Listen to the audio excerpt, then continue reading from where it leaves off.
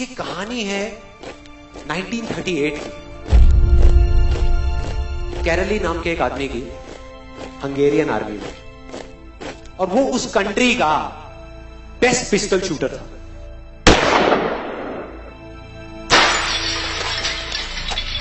जितनी भी national championships हुई थी उस कंट्री में, उसको वो जीत चुका था।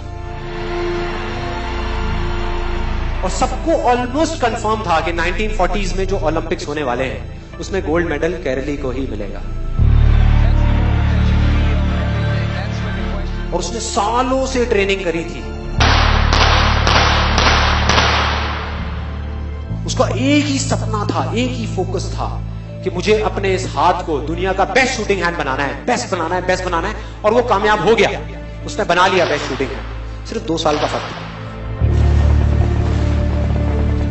1938 में एक आर्मी का ट्रेनिंग कैंप चल रहा था, क्योंकि वो आर्मी में था तो एक एक्सीडेंट हो गया। उसके उसी हाथ में, जिससे उसने गोल्ड मेडल जीतना था, उसमें एक हैंड ग्रेनेड फट गया और वो हाथ चला गया। जो उसका सपना था, जो फोकस था, सब खत्म।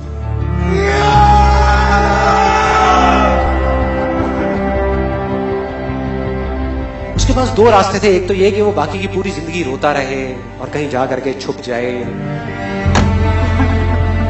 या अपना जो गोल था जिसपे उसने फोकस किया हुआ था, उसको पकड़ करके रखे। तो उसने फोकस किया, उस पर नहीं जो चला गया था, जो उसके पास नहीं था, उसने फोकस किया उस पे जो उसके पास था।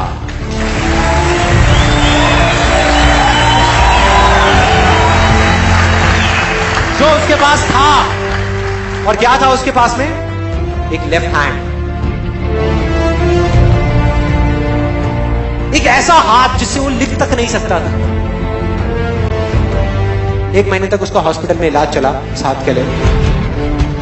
और सही एक महीने बाद, अपनी ट्रेनिंग शुरू करती इस हाथ की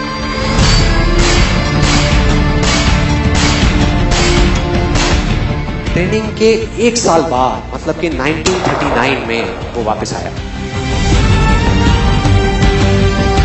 नेशनल चैंपियनशिप्स हो रही थी, वहीं पे हंगरी में, और बाकी भी बहुत सारे पिस्टल शूटर्स थे वहाँ पर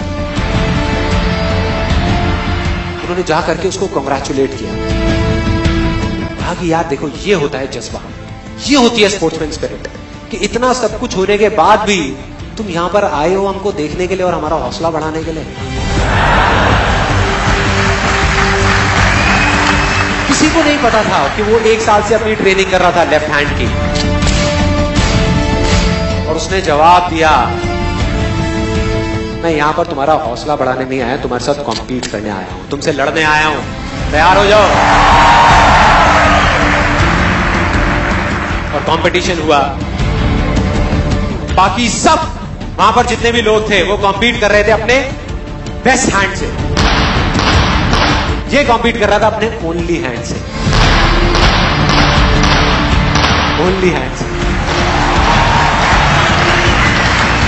कौन जीता? The man with only hand Kairali जीत गया। लेकिन वो यहाँ नहीं रुका उसका गोल क्लियर था कि मुझे इस हाथ को, इस कंट्री का नहीं, इस पूरी दुनिया का बेस्ट शूटिंग हैंड बनाना है।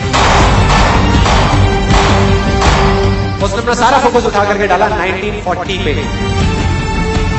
जब ओलंपिक्स होने वाले थे। लेकिन 1940s के ओलंपिक्स कैंसिल हो गए। वर्ल्ड वॉर की वजह से।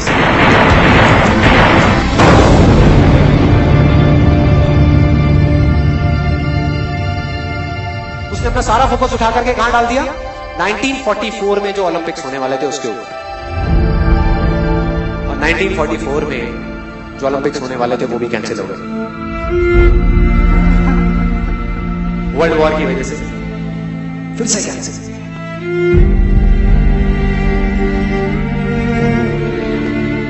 उसने अपना सारा फोकस उठा करके डाल दिया 1948 के ओलंपिक्स में। 1938 में उसकी एज थी 28 साल। 1948 में उसकी एज हो चुकी थी 38 इयर्स और जो यंगर जो प्लेयर्स आते हैं निकल करके, उनसे कॉम्पीट करना मुश्किल होता चला जाता है।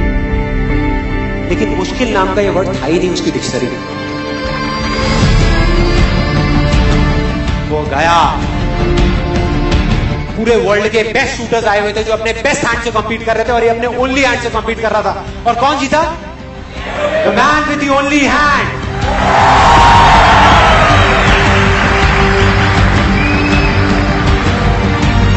लेकिन वो तब भी नहीं रुका। 1952 ओलंपिक्स। दोबारा कॉम्पीट किया उसने। और इस बार गोल्ड मेडल कौन जीता? कैरली चार साल बाद दोबारा से। और पूरी की पूरी हिस्ट्री को बदल करके रख दिया ओलंपिक्स पर्टिकुलर कंपटीशन में उससे पहले किसी भी एथलीट ने लगातार दो गोल्ड मेडल्स नहीं जीते।